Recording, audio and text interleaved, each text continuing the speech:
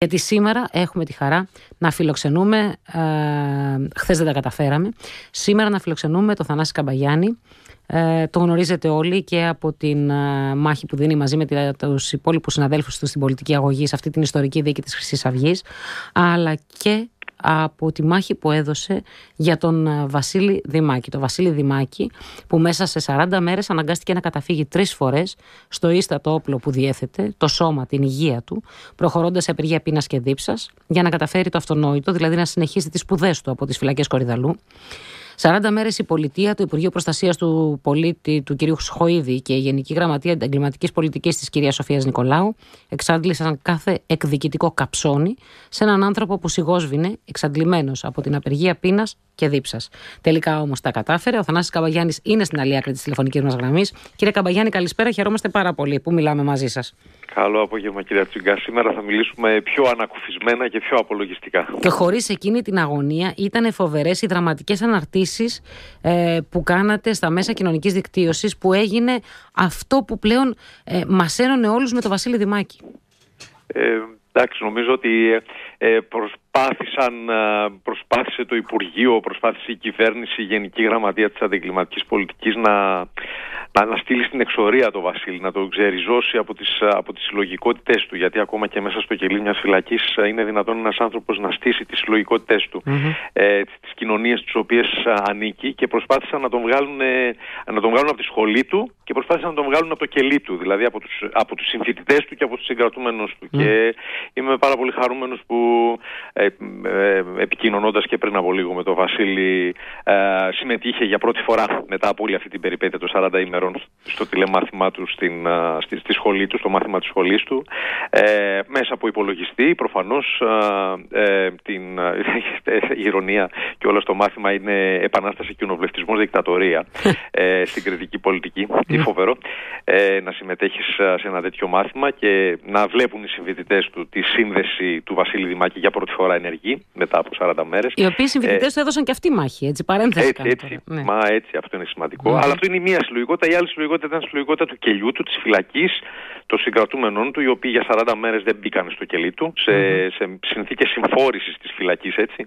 Ε, 40 μέρες η ηθική της φυλακής, όχι στα χειρότερά της, όπως συνήθως την ακούμε από τις ειδήσει που λέμε για κάποιον, για κάποιον κρατούμενο ο οποίος θα πάει και η, η, η φυλακή θα τον, θα τον απομονώσει, θα τον ανασκολοποιήσει. Έτσι, η ηθική της φυλακής στα καλύτερα της. Mm-hmm. Οι συγκρατούμενοι του οποίοι είπαν ότι δεν πρόκειται να μπούμε σε αυτό το κελί, γιατί υπάρχει ένας άνθρωπος ο οποίος δίνει μάχη για να επιστρέψει πίσω. Ήταν θριαμβευτική η επιστροφή, οι αγκαλιές ε, από, τους, από τους συγκρατούμενους του που τον, που τον υποδέχτηκαν και άρα πραγματικά ήταν μια μάχη η οποία δόθηκε και κερδίθηκε και, και ο Βασίλης ξαναγύρισε στις συλλογικότητες στις οποίες, ε, των οποίων ήταν κομμάτι, στις οποίες ανήκε. Και άρα από αυτή την άποψη είμαστε πάρα πολύ ανακουφισμένοι και θα είμαστε πολύ πιο ανακουφισμένοι το Σαββατοκύριακο. Εγώ πρέπει να σας πω ότι αυτό που πραγματικά με σώκαρε πιο πολύ απ' όλα, ε, μάλλον, μάλλον με συγκλώνησε πιο πολύ απ' όλα, ήταν η τελευταία του επιστολή όπου έλεγε ότι ε, κυρά μου τα κατάφερες, με νίκησες, δεν θέλω πια ούτε να συνεχίσω το, τα μαθήματά μου ούτε τίποτα. Δηλαδή εκεί είδαμε έναν άνθρωπο που έχει δείξει φοβερό σθένος και φοβερό κουράγιο ε, να, να, να κάμπτεται από αυτά τα ατέλειωτα καψόνια, καψόνια με τη ζωή του έτσι. Κυρία Τσίγκα, υπήρξαν στιγμές αυτή την πορεία που πραγματικά είμα, βρεθήκαμε στα πατώματα. Δηλαδή υπήρξαν στιγμές που βρεθήκαμε στον Αδύρ. Ε, και και άμα το, δει, και άμα το δούμε και, και συνολικά και στο πώς περιγράφεται πολιτικά η κατάσταση, αν θέλετε έτσι, ότι άπαξ και αποφασίσει κάτι η κυβέρνηση, mm. ποιος μπορεί σε αυτές τις συνθήκες που υπάρχουν να την κοντράρει, έτσι, προβάλλεται μια εικόνα πολιτικής μονοκρατορίας του κυβερνητικού κόμματος. Έτσι, υπάρχει ένας απόλυτος έλεγχος στο μέσο μαζικής ενημέρωσης. Τώρα μην γελιόμαστε. Ναι. Μπορούμε να το συζητήσουμε και αυτό το πράγμα. Ε, και άρα λες ότι αν το αποφασίσουν αυτοί έτσι, έχοντας μια απόλυτη δύναμη, έχοντας τα μέσα μαζικής ενημέρωσης όπου μπορούν να επιβάλλουν και ένα καθεστώς υγιής.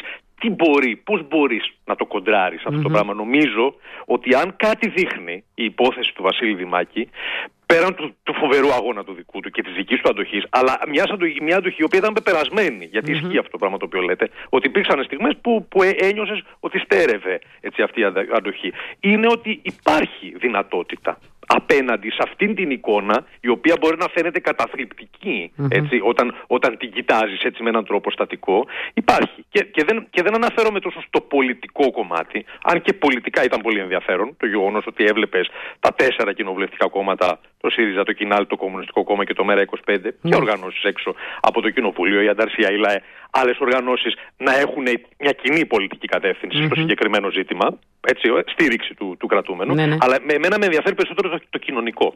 Με Εκεί λοιπόν περισσότερο... υπήρξε τεράστια ανταπόκριση του κόσμου. Έτσι, δηλαδή οι καθηγητές του ατομικά αλλά και θεσμικά, σαν γενικέ συνελεύσει τμήματος, μας κατακλείζανε ανακοινώσεις οι οποίες έτσι και αποφάσεις. Οι, οι συμφοιτητές του ατομικά που οι ίδιοι έτρεξαν για τα μαθήματά του για να πάρουν τις αναλυτικές βαθμολογίες του, αλλά και σαν φοιτητικός σύλλογος ναι. που, που έκαναν τις κινητοποιήσεις, οι οργανώσεις των δικαιωμάτων, το θεσμικοί έτσι, η, η Εθνική Ένωση για τα Δικαιώματα του Ανθρώπου, εντυπωσιακές παρεμβάσεις υπέρ του, του Βασιλή, τρεις φορές μάλιστα, πρωτόγνωρη εικόνα, mm-hmm. καλλιτέχνες, έτσι, εργατικά σωματεία, ηθικά εκπαιδευτικά σωματεία, εντυπωσιακή, η εντυπωσιακή ευαισθητοποίηση των καθηγητών και των εκπαιδευτικών σωματείων, μαζικές συγκεντρώσεις, σαν και αυτή που έγινε τη Δευτέρα έξω από το Υπουργείο Προπό, αλλά και κινητοποίησης στα μέσα κοινωνικής δικτύωσης, κινητοποίηση στο Facebook, κινητοποίηση στο Twitter, που ναι. κατακλείστηκε από μηνύματα ε, αλληλεγγύης, κάποια μέσα μαζικής ενημέρωσης τα οποία στάθηκαν όρθια, δεν το συζητάμε, δηλαδή να μπει εφημερίδα το στακτών, το κόκκινο.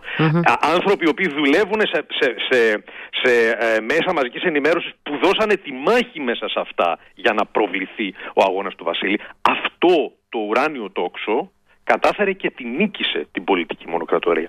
Δηλαδή αυτό νομίζω ότι χρειάζεται να το έχουμε στο μυαλό μας, ότι αυτό είναι το, αυτός είναι ο απολογισμός αυτής της μάχης, το οποίο διαρκώς πρέπει να το, να το θυμόμαστε, ότι αυτό είναι εφικτό, γίνεται.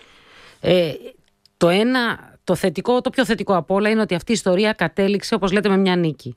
Ε, πρώτα απ' όλα, μια νίκη για τον ίδιο τον Βασίλη Δημάκη, ο οποίος μπορεί να συνεχίσει τις σπουδές του. Αυτό που είπε ότι δεν θα σας αφήσω να με ξανακάνετε αυτόν που ήμουνα. Δηλαδή, έχει πάρει μια μεγάλη απόφαση και την υπηρετεί όσο καλύτερα θα μπορούσε. Δηλαδή, μας λέγατε εσείς ότι έχει περάσει 25 στα 25 μαθήματα.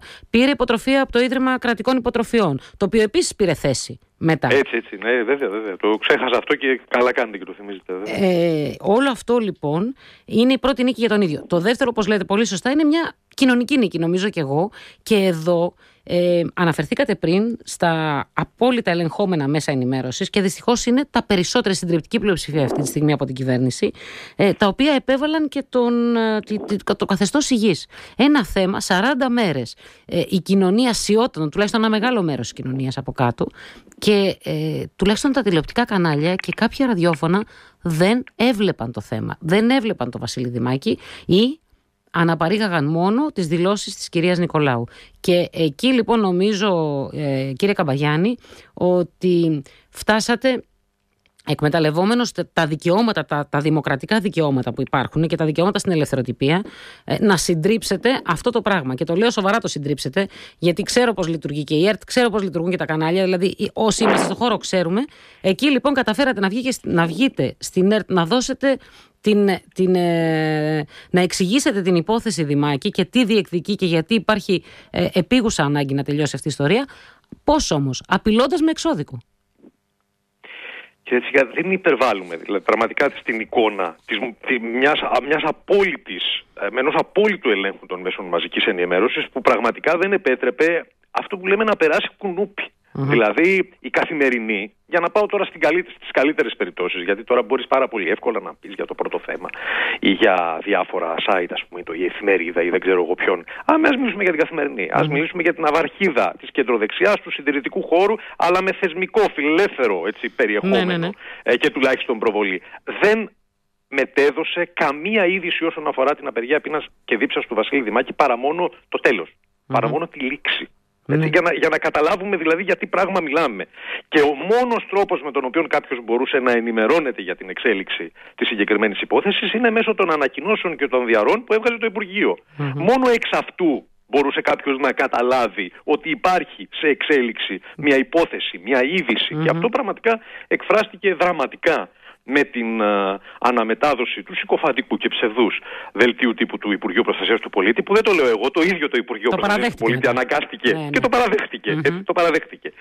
Το τσακίσαμε το αφήγημα του ληστή με τα καλάσνικο. Mm-hmm. Γιατί ήταν ψευδές. Ήταν μια δημοσιογραφική, μια, μια κυτρινιστική την δημοσιογραφική χειδεότητα, την οποία την πήρε το Υπουργείο και την έκανε δελτίο τύπου. Την έστειλε στη συνέχεια αυτή τη χειδεότητα σε όλα τα μέσα μαζικής ενημέρωσης, τα οποία λέμαργα έτσι την αναμετάδωσαν, με πολύ λίγες εξαιρέσεις που μετέδωσαν και το δικό μας δελτίο τύπου και τη δική μας πλευρά. Το ίδιο έκανε και η ΕΡΤ. Και πραγματικά η ΕΡΤ, παρότι επί 40 μέρες δεν είχε πει κάτι σε σχέση με τη συγκεκριμένη υπόθεση, ε, μετέδωσε αυτή την αθλειότητα περί Καλάσνικοφ, περί ναρκωτικών, χιδέα ψέματα. Χιδέα ψέματα έτσι.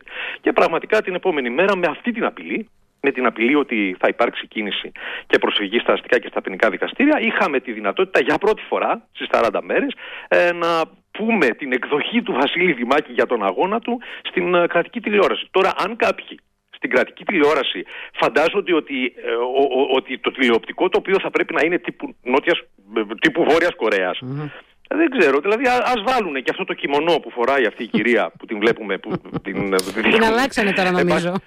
δεν ξέρω, βάσει το κιμονό να δηλαδή, μιλήσει ναι. και για το φωτεινό ηγέτη, αλλά είναι πραγματικά τύφλα να έχει η Βόρεια Αυτή ήταν η εικόνα έτσι, του, του, του, του, τοπίου των, των μέσων μαζικής ενημέρωσης, νομίζω ότι φάνηκε ξεκάθαρα.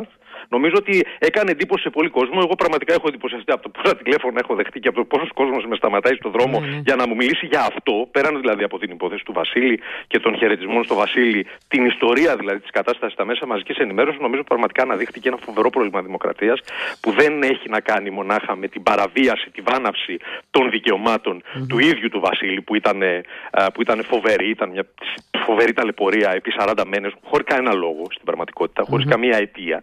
Έτσι, αλλά έχει να κάνει και με τα ευρύτερα ζητήματα ε, πολυφωνίας, δημοκρατίας, δυνατότητας του κόσμου να εκφράσει, να, να, να ακουστεί, εν πάση περιπτώσει, το κεντρικό πολιτικό σκηνικό, η συζήτηση η οποία μπορεί να γίνεται στο καφενείο ή στο διαδικτυακό καφενείο στις μέρες μας. Και όπως πολύ ε, σωστά είπατε κάποια στιγμή στην ΕΡΤ, λέτε, θα το γνωρίζω από εδώ και πέρα ότι μονάχα με απειλή εξοδίκου μπορεί να βγει κάποιος στην ΕΡΤ. Πραγματικά ναι, δηλαδή. Ναι, ναι. Ε, Είναι, ε, εγώ, εν πάση περιπτώσει, πηγαίνοντας στην ΕΡΤ, γνώριζα ότι δεν πρόκειται να ξαναβγώ στην ΕΡΤ, ε, τουλάχιστον επί της παρούσα.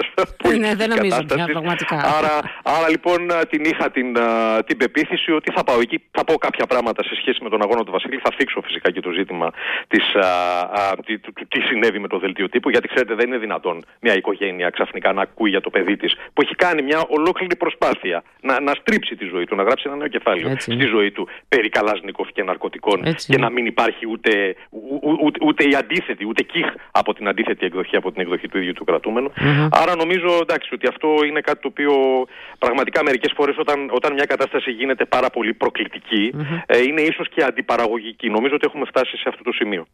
Ε, ταυτόχρονα θέλω να μην ξεχνάμε και να κλείσουμε το, την υπόθεση του Βασίλη Δημάκη εδώ, ότι ξεκίνησε όλο αυτό το πράγμα η απαγωγή του στην κυριολεξία από τον Κορυδαλό και μεταφορά στα Γρεβενά, γιατί συμμετείχε μαζί με τους άλλους συγκρατούμενους του στη διαμαρτυρία ζητώντας να τηρηθούν κάποια μέτρα προστασίας από τον κορονοϊό. Δηλαδή ήταν και αυτό αυτονόητο, θέλω να πω. Δεν ήταν μόνο το να συνεχίσει τις σπουδές του. Ήταν αυτονόητο το να διεκδικήσουν οι κρατούμενοι, γιατί δεν φρόντισε αυτό το κράτος να το κάνει, να υπάρχουν κάποια μέτρα προστασίας σε κελιά που κοιμούνται οι μισοί στο πάτωμα, οι μισοί στα κρεβάτια, σε συνθήκες συμφόρησης όπως μας είπατε πριν. Δηλαδή να θυμηθούμε και από πού ξεκίνησε αυτό. Έτσι, έτσι, τουλάχιστον όσον αφορά αυτό, έχουμε πλέον και την επίσημη παραδοχή και από το ίδιο το Υπουργείο, γιατί κομμάτι, εν πάση περιπτώσει, αυτών των πολλών δελτίων τύπου ήταν κάποια στιγμή και ο χαρακτηρισμός του Δημάκη ως υποκινητή Άρα, τελικά, εν πάση περιπτώσει, μάθαμε για ποιο διάολο λόγο έγινε όλο αυτό. Φυσικά δεν υπήρξε κάποια εξέγερση στον, στον Κορυδαλό. Ναι, ναι. Υπήρξε μια ειρηνική κινητοποίηση, ε, όπου οι κρατούμενοι ζητήσανε τα αυτονόητα, χωρίς να τελεστεί κανένα ούτε ποινικό ούτε πειθαρχικό ε, αδίκημα ή παράπτωμα. Αλλά εντάξει, αυτός ήταν ο τρόπος με τον οποίο στην πραγματικότητα στοχοποιήθηκε ο Βασίλης. Στοχοποιήθηκε ως προτεργάτης μιας κινητοποίησης, επειδή μίλησε, επειδή έβαλε το λόγο του μπροστά. Ε, πλέον, εντάξει, αυτό ήταν κάτι το οποίο το λέγαμε, το υποψιαζόμασταν, πλέον το είπε ανοιχτά και πανηγυρικά και καθαρά το Υπουργείο. Πραγματικά χαίρομαι τουλάχιστον, ουδέν κακό να μην καλού, ότι σε αυτή την υπόθεση βγήκανε για πρώτη φορά και συζητήθηκαν με έναν θετικό τρόπο στην κοινωνία τα αιτήματα των κρατούμενων, η ζωή των κρατούμενων, τα προβλήματα που αντιμετωπίζουν, ε, το ζήτημα του σοφρονισμού. Ε, ανοίξανε δηλαδή ζητήματα και η μάχη του Βασίλη ήταν μια μάχη που δεν έγινε μόνο για το, για, το, για το πρόσωπό του, ετσι ήταν πιο, πιο συλλογική. Ε, την ίδια ώρα και με το που τελείωσε αυτή η υπόθεση ε, έχετε αναλάβει μια υπόθεση που επίσης είναι, δείχνει ε, ένα ε, απαράδεκτο φαινόμενο να βρίσκεται σε έξαρση εδώ και περίπου 8 μήνες. Δηλαδή την αστυνομική βία απρόκλητη αστυνομική βία σε ανθρώπους που άλλος είναι στη στάση του λεωφορείου, άλλος είναι έξω από το μετρό, άλλος κάθεται σε ένα πεζούλι. Ε, είχαμε δει αυτό το, το, το φοβερό όργιο που είχε γίνει να τους κατεβάζουν, να τους ξεγυμνώνουν, ας πούμε, ε, στο πάρκινγκ του, ε, του Υπουργείου Πολιτισμού στην Μπουμπουλίνα. Ε, και έχουμε δει και περιστατικά που πυκνώνουν με ξύλο και κακοποίηση ε, ανθρώπων οι οποίοι δεν έκαναν κάτι. Το τελευταίο είναι δύο νεαροί που τους έχετε αναλάβει τώρα, ε, οι οποίοι καθόταν στα σεπόλια κοντά στο σταθμό του μετρό και απλά ο ένας ρώτησε ε, έναν από τους αστυνομικούς ομάδας Δίας νομίζω που ήταν κοντά, τον κοίταζε επίμονα και τον ρώτησε γιατί με κοιτάς; Ε, και αυτό τελικά κόστησε 9 ράματα στο κεφάλι του φίλου του και, και πάρα πολλούς μόλοπες τον ίδιο, έτσι. Κοιτάξτε, το ζήτημα της αστυνομικής βίας είναι δομικό πρόβλημα. Είναι συστημικό πρόβλημα. Έτσι. Είναι ένα πρόβλημα το οποίο δυστυχώς καμία κυβέρνηση δεν έχει τολμήσει να το αγγίξει. Δεν έχει υπάρξει οποιαδήποτε κάθαρση ακόμα και από, τις πιο κραυγαλαί, από τους πιο κραυγαλαίους χρυσαυγήτικους φασιστικούς πυρήνες που υπάρχουν μέσα στην Ελλάδα, οι οποίοι δεν αγγίχτηκαν. Έτσι, δεν αγγίχτηκαν καν παρότι το, από το 2013 έχουμε ε, ποινική δίωξη σε βάρος της Χρυσής Αυγής. Δεν υπήρξε καμία τέτοιου τύπου διαδικασία mm-hmm. κάθαρση. Πόσο μάλλον δεν υπήρξε κάποια διαδικασία ε, τιμωρίας ε, επανειλημμένων ε, αστυνομικών αφαιρεσιών. Ε, αυτό το οποίο έχουμε τώρα τους τελευταίους μήνες και αυτό το οποίο κάνει την πολιτική διαφορά είναι ότι έχουμε μια κυβέρνηση η οποία επενδύει πολιτικά πάνω σε αυτό. Έτσι, είναι αυτό το παλιό του πατέρα Μητσοτάκη, το εσείς είσαστε το κράτος, η απεύθυνση δηλαδή προς την αστυνομία ότι έχει το ελεύθερο να κάνει οτιδήποτε θέλει χωρίς να υπάρχει οποιοδήποτε ζήτημα τιμωρίας, mm-hmm. έχοντας την, την αίσθηση ότι έχει πλάτες δηλαδή. Αυτό ήταν, είναι, είναι η πιο χαρακτηριστική υπόθεση. Η τελευταία, παρότι είχαμε πάρα πολλές, είχαμε και τα γεγονότα στην πλατεία του Αγίου Γεωργίου, στην, στην Κυψέλη, αλλά άμα μιλάμε για το τελευταίο, για το ζήτημα του, του, του, των σεπολίων, είναι πάρα πολύ σαφές πώς ενώ ξυλοκόπησαν και πραγματικά τα χτυπήματα τα οποία, τα οποία δέχτηκε ο δεύτερος από τους εντολισμού ήταν δολοφονικά. Ήταν στο κεφάλι, mm-hmm. επανειλημμένα, στοχευμένα, με σίδερο, με, την, με τις χειροπέδες με τις οποίες πήγαν να τον χειροπεδίσουν και με κλομπ. Ε, ε, Παρ' όλα αυτά, οι αστυνομικοί κατήρτισαν μια δικογραφία στην οποία οι δαθέντες είναι ε, κατηγορούμενοι. Είναι κατηγορούμενοι. κατηγορούμενοι για αντίσταση, βία, απίθεια, όλα, εν πάση περιπτώσει, τα, τα, τα, τα, γνωστά τα οποία τίθενται στις συγκεκριμένες υποθέσεις. Αυτό το οποίο δεν υπολόγιζαν οι αστυνομικοί και δεν υπολογίζει ποτέ η εξουσία, ξέρετε, mm-hmm. είναι ότι ο κόσμος δεν είναι διατεθειμένος να τα αφήσει αυτά τα πράγματα έτσι. Τα δύο αυτά παιδιά είναι δύο 24 οι οποίοι είναι τελειβεράδες. Mm-hmm. Και φυσικά πιστεύανε ότι εντάξει τώρα, οι τελειβεράδε τι θα κάνουν. Θα, θα το αφήσουν. Mm-hmm. Τα παιδιά αυτά όμως δεν πρόκειται να το αφήσουν αυτό το πράγμα. Όχι μόνο δεν θα το αφήσουν, υπάρχει κόσμος της γειτονιάς που δεν πρόκειται να το επιτρέψει. Υπάρχουν που έχει δει τι έχει γίνει και θα το καταθέσει έτσι, για να καταλάβουν κάποιοι ότι δεν μπορούν να πράττουν. Ε, μπορεί να καλύπτονται, να έχουν τις πλάτες μέσα στο κράτος. Δεν έχουν όμως τις πλάτες μέσα στις γειτονιές. Στις γειτονιές υπάρχει κόσμος ο οποίος βλέπει και είναι διατεθειμένος να μιλήσει. Έτσι. Υπάρχουν κάμερες.